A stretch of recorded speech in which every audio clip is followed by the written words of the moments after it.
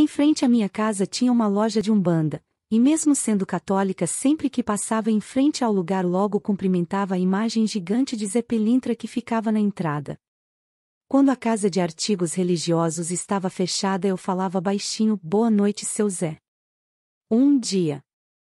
Voltando da faculdade por volta de quase meia-noite escutei passos nas minhas costas, me virei e vi um homem me seguindo com um canivete na mão.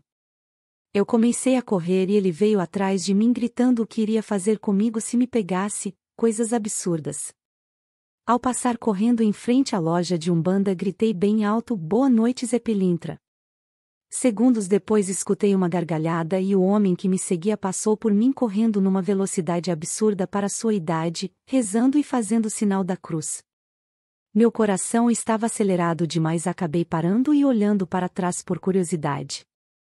Lá estava Zepelintra na porta da loja sorrindo. Ele levantou seu chapéu e sem dizer absolutamente nada, sumiu. Desde então ele é meu grande amigo e protetor. Salve, salve seu Zé.